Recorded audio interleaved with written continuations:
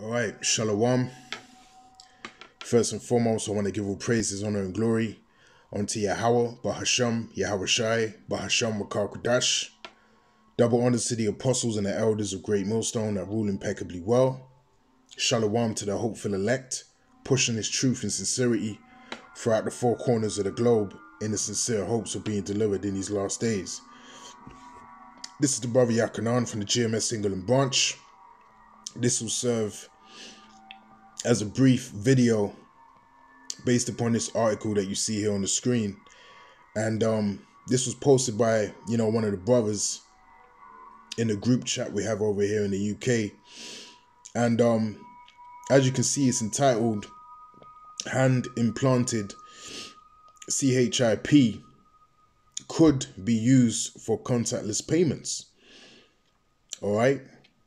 And I believe, you know, this month, you know, of April, you know, this is like maybe the third or fourth article I've personally seen regarding the promotion of the MOTB, you know, the Revelations 13 and 16, which, you know, you all should know, you know, what that is by now, all right? The MOTB, the Revelations 13 and 16, because, you know, through the spirit and power of Yahweh Shem Yahawashi Bashem Kudash, starting with Elder Apostle Tahar on down to the other apostles and elders and brothers of Great Millstone, you know, we do nothing but warn you of the coming prophecy regarding the MOTB, okay? Because it's a fundamental and very important prophecy that must indeed come to pass before the coming of our Lord and our Savior Yahawashi, okay? And that's the, that's why the Spirit, you know, be on us to push it, you know, so heavy and so relentlessly, okay? Because it's very, very important. And if you don't have the correct understanding on what the MOTB actually is, then your spiritual well being, you know, could well indeed be at risk. All right. And that's why it's so important to warn the people regarding the coming events that's going to play out upon the face of the earth, man. All right. So there's a video here which I won't play, but what I'll do, I'll post the um the link to this article in the description box.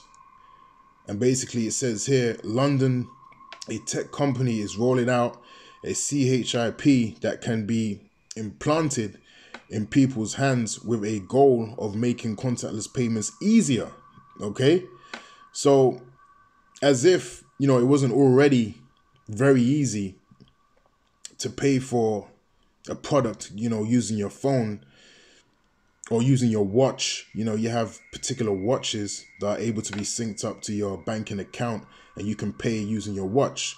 So as if that wasn't as easier as it is, they're now making it go one step further into um actually putting this inside your hand, okay? Which is the Revelations 13 and 16. Okay? This is what's spoken of in Revelations 13 and 16. All right, the MOTB. This is biblical prophecy, all right, coming coming to pass, you know, before your very eyes. Now it says London-based Walletmor said the CHIP will work with the Purewrist app, a digital wallet. After downloading the app, users will go to a specialist to have a CHIP installed in their hands that would act in conjunction with the app and businesses that use the app. Once users are completely set up with the CHIP, the app, they can make payments using the funds in their accounts. The company said the uh, implant process is safe. The skin incision for the implant is very small and is usually 7 millimeters long and the procedure takes about four minutes. Okay, so it's very quick, and they got the cost here. It says it's um two hundred and ninety nine dollars. You know, according to the uh, company's website. So you know, here we have it. You know, now you have the MOTB. You know, being pushed more and more in society. All right, being legitimized and normalized. All right, and massaged amongst the people, all right, to precondition you, all right, into the idea of having this technology in your body. Okay? And this is a great sign of the end of Esau Edom's kingdom because, like it says in the book of uh, Job, you know, let's get that in Job chapter 14. You know, the Spirit is had me think of Job 14, man, because this is excellent news. Because again, this is the sign of the end of this man's kingdom. All right, the end of his enterprise and his rulership, his kingdom, you know, coming to a drastic close through the spirit and power of Yahweh Shim Yahawashi, man. All right, so let's go to Job chapter 14 and uh, verse 5. And it says, Seeing his days are determined, the number of his months are with thee. Thou have appointed, thou has appointed his bounds that he cannot pass. Okay? So Yahweh Shim Yahawashi has appointed bounds, okay, that Esau, Edom, as a nation of people, beginning with the elites, okay, are unable to pass. All right, there's a time that Yahweh Shim Yahawashi have put upon the rulership of Esau, Edom, okay, and they're unable to go past that time. And it tells us, like I always quote, you know, in Second Esdras 9, all right, that we're to measure the time diligently, okay, and we're to look out for these events that are playing out upon the face of the earth, and we're to sync it with the scriptures, all right, we're to sync it with the prophecies that are in the Bible, okay, so that's how we know that we're in the midst of the end of the world, okay, because one of the last few prophecies, all right, to unfold upon the face of the earth before Esau's kingdom is totally destroyed by Yahweh Shem Yahawashi is the emergence of the MOTB, the Revelations 13 and 16. So that's how we know we're in the midst of the end of the world. Okay, we're not going to be here for no 10, 5, 10, 15, 20 years, 30 years from now. Okay? We're going to be in the kingdom. Lord willing, in the very, very near future, we are going to be in the kingdom. Because if the MOTB has already been promoted on this on this on this kind of level, that just shows you how close we are to the coming of our Lord Yahweh Shem Yahawashi. Okay? So seeing his days are determined, the number of his months are with thee, thou have appointed his bounds that he cannot pass. All right. So Esau is unable, all right, to extend the threshold that Yahweh Shem Yahawashi has set in place, no matter what he has in his mind. Okay, now let's go to um, what's that? Psalms 49 and verse 11. Because the reason they're trying to um bring this um to pass you know the uh, transhumanism all right the forming of um you know man and machine so to speak is to extend their kingdom and to extend their rulership upon the face of the earth and ignore the intent and the will of the heavenly father Yahweh Shem Shai, which is not possible okay because they cannot go outside the bounds like we just read in the book of job okay of what the lord has prescribed them to rule for, man. So this is uh, Psalms 49 and verse 11.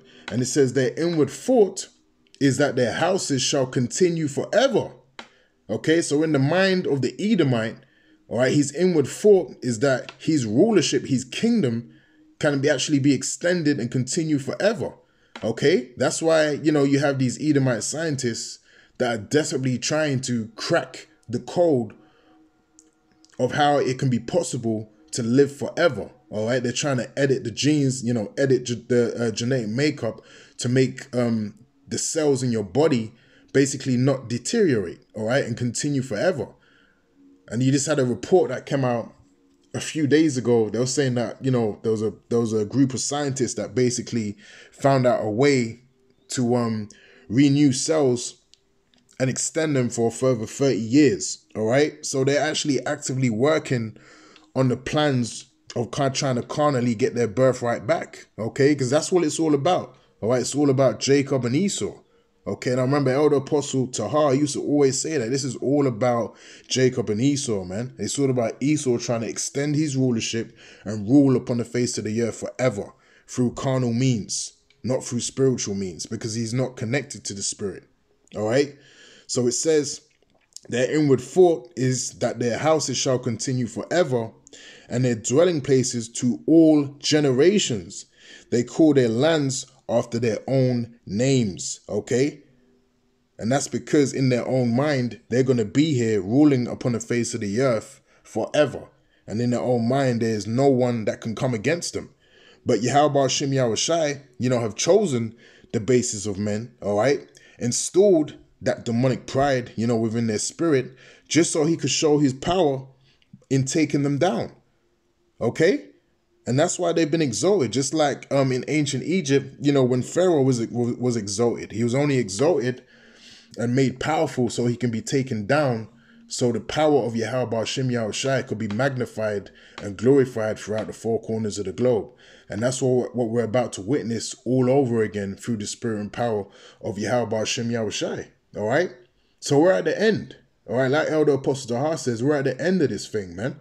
Okay, because this is a real evil work that Esau is trying to perpetuate throughout the four corners of the globe. And let me get um the book of Proverbs 29 and 16. Okay. This is Proverbs 29 and verse 16. And it says, When the wicked are multiplied, transgression increaseth. All right, so that's what we're seeing play out upon the four corners of the globe. All of this technology, all of this transhumanism, all of these intents, you know, of um basically enslaving the world and having a mere, you know, 1% ruling that, that are currently ruling in secrecy, okay? They, they want all the power. All right. That's why they're buying all the farmland. Okay. That's why, you know, they're releasing, you know, these plagues throughout the four corners of the globe. All right. That's why they're to, you know, economically crash, you know, the whole system. All right. So they can press that reset button. You know, it's called the Great Reset. And they can restart everything from scratch. Okay. Order Abkale. Okay. That's what Esau is trying to do. And this is a wicked work, man. Okay, because you're undermining the power of Yahweh Shem Shai, and you're setting up yourself as the Most High, like it tells you in the book of Thessalonians, man. So Proverbs um 29 to 16, again, when the wicked are multiplied, transgression increaseth, but the righteous shall see their fall. That's right. And the righteous is beginning with the elect of the nation of Israel, man. All right. We're going to see the fall of the wicked. All right. We are going to see the fall of this wicked um, um race of people, the Edomites, man. Okay. Now let's go to first First Peter four and seven, and then we may close out after that. You know, this is just a brief um update, you know, regarding this um this article and where we are in terms of the prophecy of the um the MOTB. All right, the Revelations thirteen and uh, verse sixteen. You know, let's get um let me get four and seven. Let me get first Peter four and seven. We get first Peter four and seven. This is first Peter's chapter four and um and verse seven. And it reads, But the end of all things is at hand.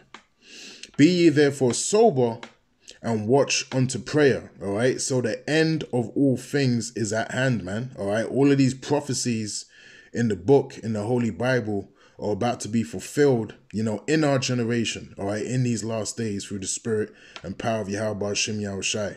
All right. So this is the time of the end. All right. This is the day of doom spoken of in the in the Apocrypha is actually in the midst. All right. And this is a beautiful thing because we want to see the downfall of Esau Edom's kingdom. Okay. The demise of Esau Edom's kingdom and the rise of our kingdom. All right. Through the spirit and power of Yahweh Shem Yahawashi Bashem Kodash. So with that, Lord willing, this um this video was edifying.